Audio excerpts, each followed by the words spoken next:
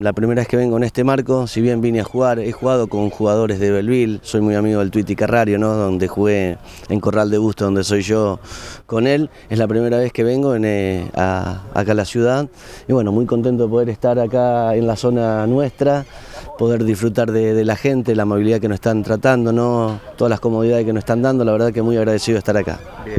Bueno, eh, trabajar en la selección sub-15, eh, digamos, en, el, en lo que es eh, el semillero del fútbol argentino, ¿qué significa para vos?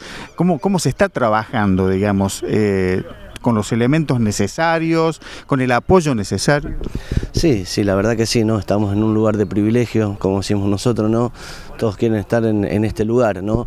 Para nosotros es un honor poder estar acá al mando de, esta selección, de la sub-15 en realidad se está trabajando muy bien, no solo nosotros, sino que en las divisiones juveniles de cada club.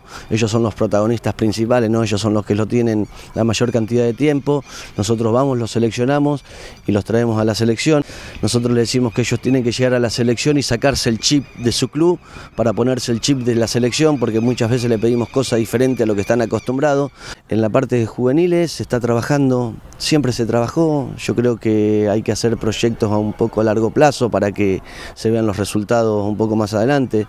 Si bien nosotros los resultados se nos dieron desde el principio, ¿no? Tuvimos un solo torneo que se jugó el Sudamericano Sub-15 y salimos campeones.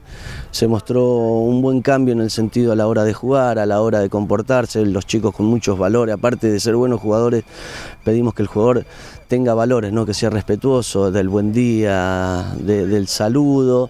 No solo el jugador argentino que tiene que ser un buen jugador de fútbol, de selección, ¿no? tiene que tener otro complemento, con eso solo no le alcanza. Si están en la selección sabemos que es buen jugador, ¿no?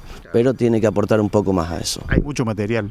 Hay mucho material, ¿no? Argentina es un exportador de jugadores, Argentina tiene muy buena calidad en jugadores, tenés gran cantidad de jugadores buenos, obviamente por ahí no se va a ver otro Messi en juveniles por un tiempo, por lo menos por lo que veo yo.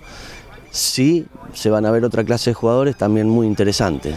¿Cuáles son los compromisos para estos jovencitos a futuro? Nosotros estamos preparando esta categoría, esta categoría es toda 2004-2005, recién tienen un torneo importante que es el sudamericano en Cochabamba, Bolivia, en noviembre del 2019, por eso es un año de anticipación y es una categoría menor que venimos a jugar con la selección de la liga que van a ser 2003 acá, que ellos son sub-15 en este momento, estos nuestros son sub-15 para el año próximo y estamos armando para un año de anticipación. El torneo más inmediato que tenemos es el sudamericano sub-17 clasificatoria mundial.